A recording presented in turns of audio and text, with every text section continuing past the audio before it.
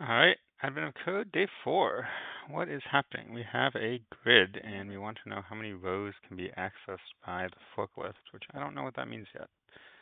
So let's keep reading a little bit. Uh, fewer than four in the adjacent eight positions. Fine. Uh,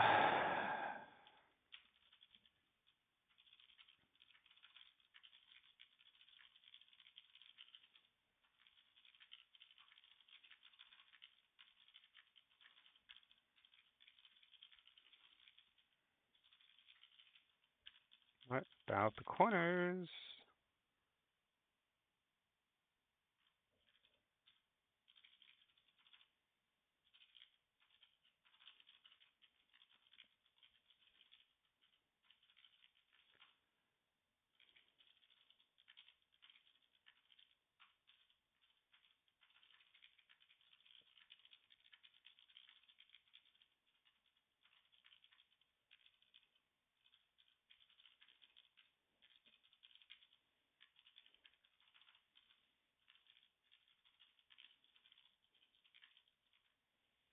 Fewer than four, less than five, because the one in the middle counts.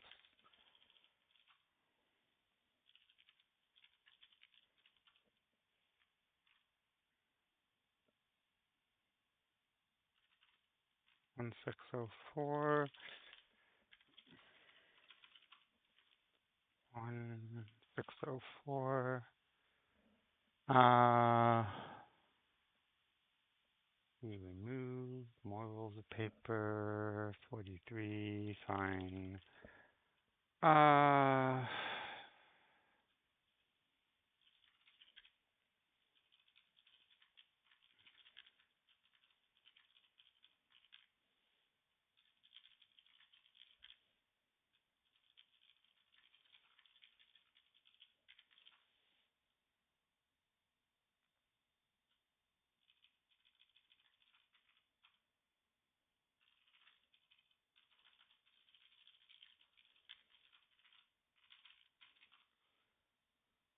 nine three nine seven.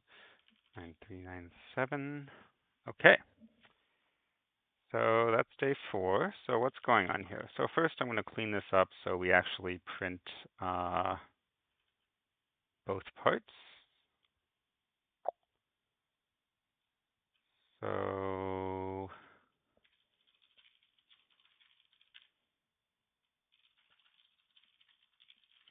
basically part one is just to do one iteration and part two is to do all the iterations while it's changing. So hopefully that works. Uh, it does not. I see. Let's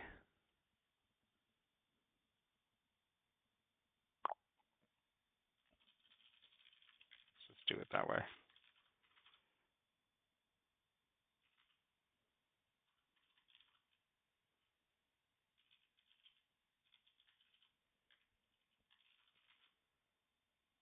Okay, 1604 and 9397.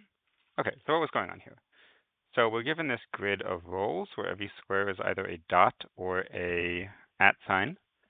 Uh, and we want to know how many we can remove. And we say we can remove if there's fewer than four uh, adjacent to it. So, okay, we read the input as a grid. R is the number of rows, C is the number of columns. Um, and then in part one, we can just kind of focus on this. So for each row, iterate through the whole grid and count the number of neighbors of each square. So the neighbors are the nine squares, uh, plus or minus one row, plus or minus one column. We're counting the row, the thing itself as a neighbor. Uh, so if the neighbor is still on the grid and the neighbor is a row, then that counts as a neighbor. Um, and so if we are a roll and we have less than five neighbors, we can remove it. The problem says less than four, but I'm counting itself as a neighbor, so that is five. Um, so that counts towards part one. Uh,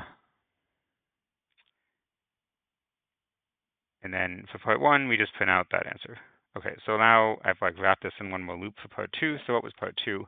Part two basically says, okay, if you can remove it, then do that and keep going um, because if you remove one thing, that might let you remove another thing that was next to it. Uh, so fine, we just wrap this whole thing in a while loop, and uh, we're going to keep going as long as something changes. Um, so basically, in the first iteration, we don't change anything for part one. And in the second iteration and subsequent iterations, we start counting towards part two. So we count towards part two and we actually delete the roll. Uh, and then if nothing changed, we're done. Otherwise, we keep go, you know, go through another iteration. So keep doing that until everything is done. Uh, and then however many we ultimately remove is the answer to two.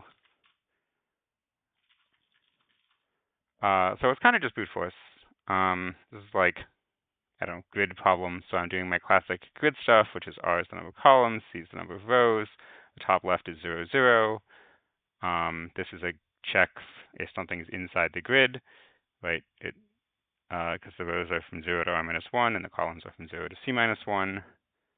Um, so like RC is, you know, R is row, C is column, RR is some other row, some other column. Uh, yeah, I think that's it for today. See you tomorrow.